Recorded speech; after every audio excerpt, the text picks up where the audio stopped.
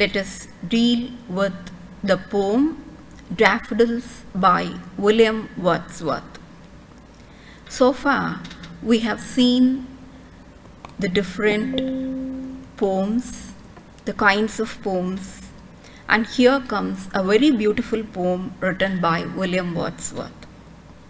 Let us first have a brief introduction about the poet. William Wordsworth is a 19th century literary stalwart. He is the most influential pioneer of the English romantic poetry. And he is the greatest poet of nature.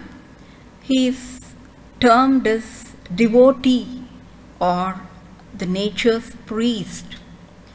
He has an excellent skill to pen down the beauty of nature. Nature occupies an independent status and is not treated as just a casual passing manner by him. Under the influence of nature, he experiences a very mystic mood and a transcendental feeling. And this particular poem, Daffodils, was published in the year 1815.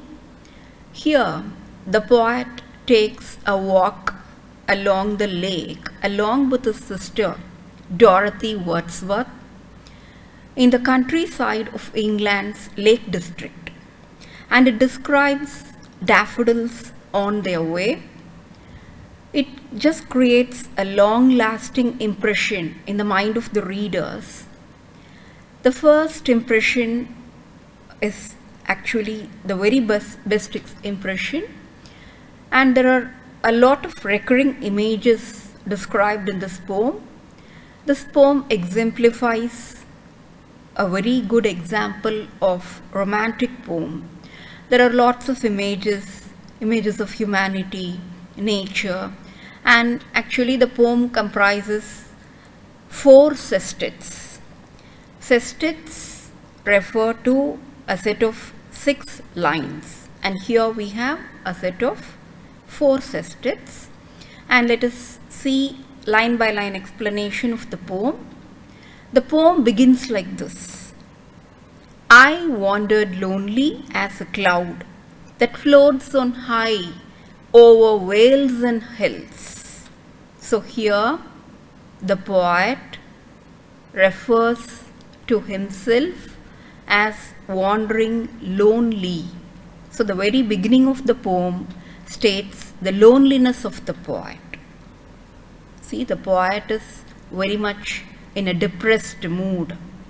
He is very serious in his mood. He is in a very dull mood. He is very depressed and this is shown in the very first line of the poem. He is wandering lonely as a cloud. So how does the cloud wander?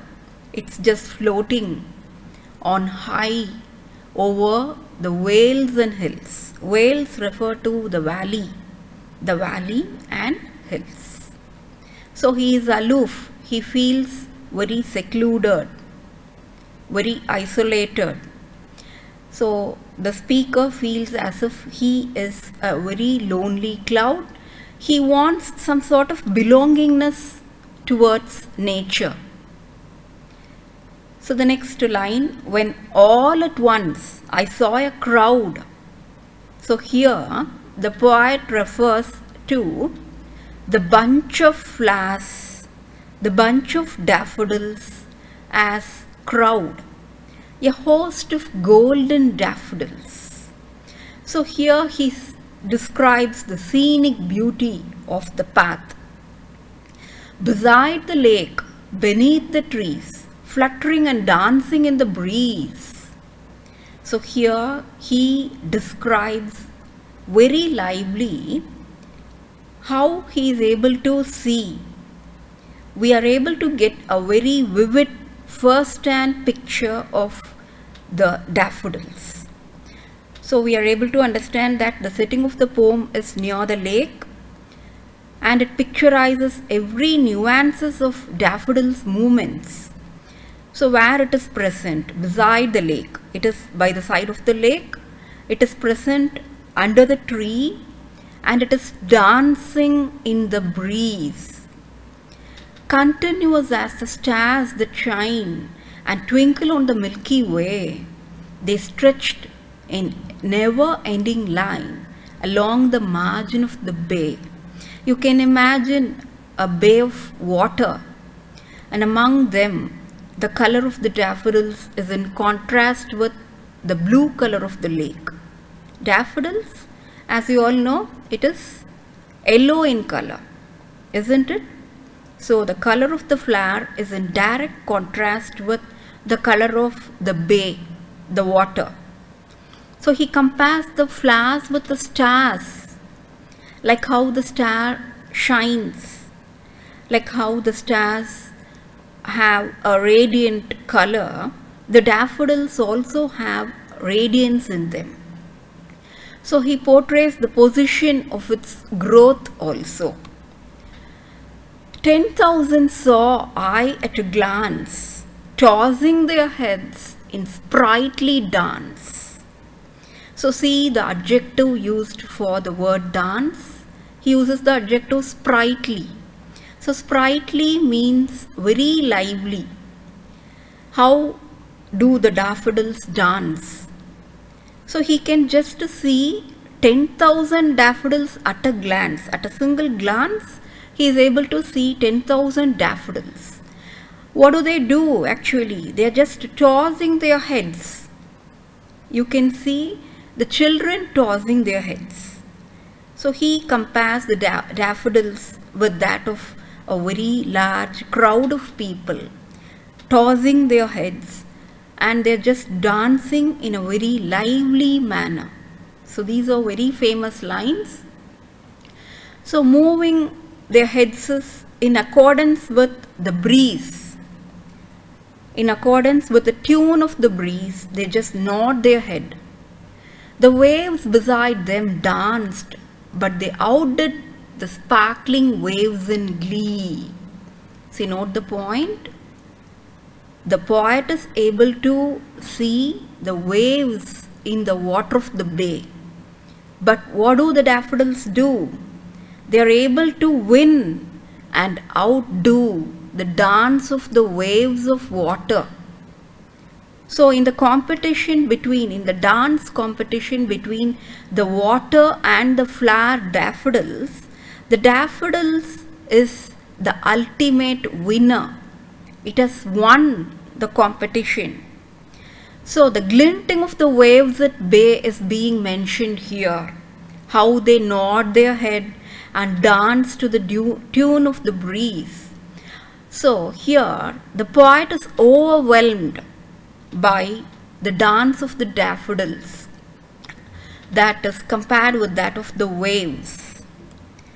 A poet could not buy be gay in such a jocund company.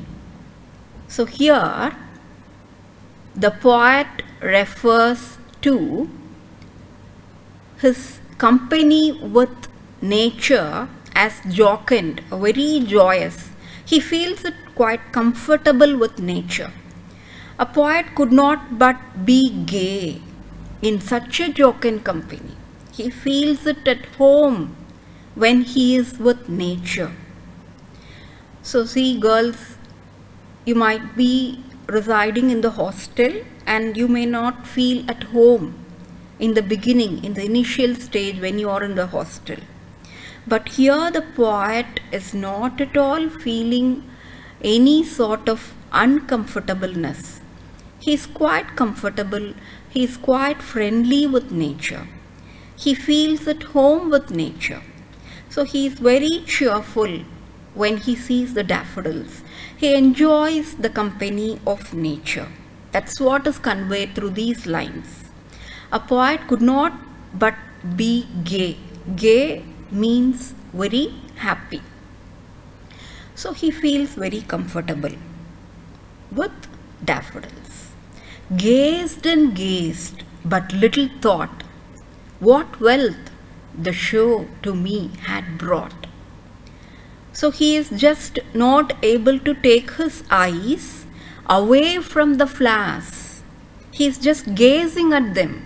Can you just imagine he is unable to pluck his eyes, pluck his vision out of the sight of daffodils. He admires, he adores the beauty of daffodils in a stretch. Continuously, he is watching the daffodils. He is gazing and gazing. But little thought what wealth the show to me had brought. He doesn't look upon the consequences. He doesn't think about what will he gain out of it. What is the use of gazing at the daffodils? He doesn't think about it at all. The only thing he sees is a very positive spirit. He gets a very positive vibe when he sees the daffodils. That is what he expects. And here, daffodils is actually a symbol which symbolizes the arrival of the bright spring. So it is a symbol of a revival, a rebirth, a renewal, a new beginning in the life of the poet. And it represents beauty in nature. So the poet suggests humans to notice the natural elements around them. So this is what is the very message of the poem. This is the theme of the poem. Human beings should learn to admire nature. The each and every element of nature should be watched carefully by human beings. And it teaches, nature teaches many lessons to human beings. So here we have a lot of figures of speech. So the first one is simile. So simile is a figure of speech which is a comparison indicating along with the phrase or the word as, so, like, etc. So here we have, I wandered lonely as a cloud the poet compares himself with the cloud. And here we have continuous as the stars that shine and twinkle on the Milky Way. Here once again, the daffodils, they are compared to that of the stars in the galaxy Milky Way. And here we have a visual imagery. So visual imagery is a visual treat. The movement of the flowers with the breeze, the whole poem is an example of visual imagery. Here we see beside the lake, beneath the trees, fluttering and dancing in the breeze. You can very well imagine all those scenes in your mind. You get a visual picture of the daffodils. They stretched in never-ending line along the margin of the bay. So you can imagine a very bright yellow line of the daffodils along the bay. So these are the figures of speech present. And very well we can see that the poet personifies daffodils. It adds human characteristics to the flower. Though the flower is a non-living thing, it is treated as if it is a living thing. They stretched a never-ending line along the margin of the bay 10,000 saw I at a glance, tossing their heads in sprightly dance.